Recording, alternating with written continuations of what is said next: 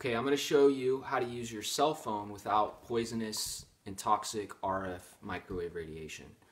This phone here, as well as the one we're filming with, are on airplane mode. So we're going to show you here two different meters measuring the same thing, the levels of RF radiation.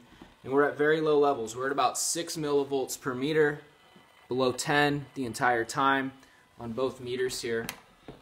And we're going to go ahead and switch off airplane mode on the phone and you'll see here, go to settings, and we simply just switch off airplane mode. And we jump up to several thousand millivolts per meter. And we'll continue to get radiation every time we go on Google, if we go to Facebook, anything we do that requires data transfer, this levels of RF are going to go off the chart and affect you and your family and everyone near you. So I'm going to go ahead and turn it back on airplane mode. And the levels will go back down. What I have here is a simple Ethernet to Apple iPhone or iPad adapter.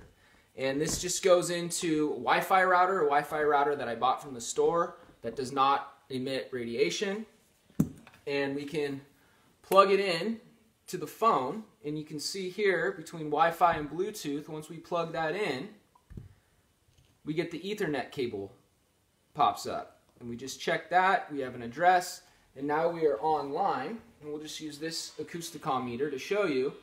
We can go to Google now. It'll say turn off airplane mode. We press that and we can look anything up. We have really fast connection go to Facebook, use our social platforms here without any harmful RF radiation. And this is good for many reasons. This is good for us health-wise, but it's also good for the environment because your cell phone can use as much energy every year as your refrigerator. So we're here in California, they have all sorts of crazy regulations on energy energy efficient homes.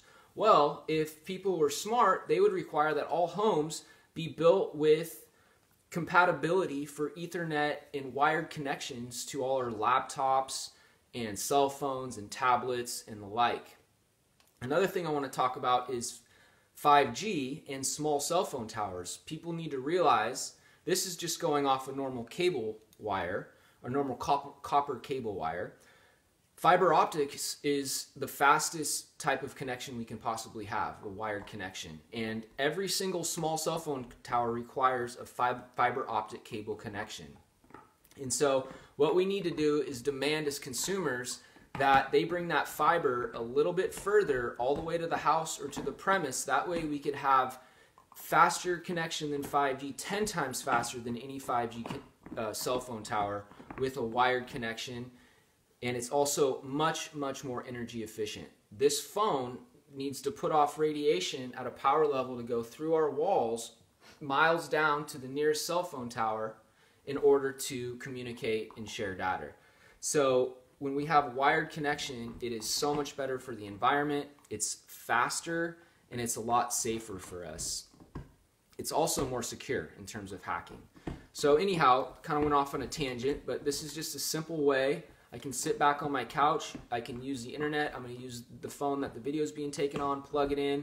I can share it on social media without having to use RF radiation. It's a win-win, and this is something that people as consumers need to be demanding from their cable company, from their phone company, from your legislators. We, we want wired connection, wired compatibility in our houses, and we want to bring fiber optic to the premise. That's really the key. The fiber optic cable is going 90% of the way to the small cell. We need to bring a little bit further into the house or into the business, and we can have faster communication, faster commerce. Great for great for the economy. Not so great for self-driving cars and AI.